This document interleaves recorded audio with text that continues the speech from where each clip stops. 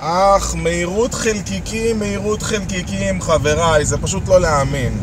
אני מתרגש מאוד כי אני בדיוק אה, רכשתי רכב חדש, וכמובן שאני כבר מזמין לו חלקים לכבוד הגעתו, ופניתי לארבעה ספקים שונים. אז אחד ענה לי, תשמע, אני לא מתעסק בזה, תדבר עם מישהו אחר בעסק שלי. השני אמר לי, אני בחופשה, אני אחזור אליך ביום ראשון, לא חזר אליי עד הצהריים ביום ראשון, ודילג על ימים. שבת, לא משנה שאנשים אומרים אני לא עובד בשבת או בשישי, אבל חברים יקרים, אתם עצמאים, יש עבודה, תנו בראש.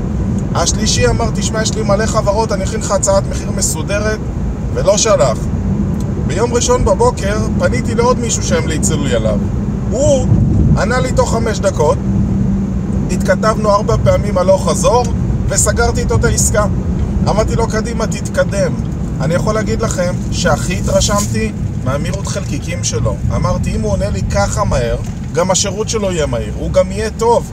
כי תראו איזה מהר הוא משרת אותי ומהר הוא עונה לי. האחרים, כמו שהסחבת היא עכשיו, כשהם רוצים אותי כלקוח, איזה סחבת תהיה אחר כך, שאני אצטרך לקבל את השירות או המוצר שלי.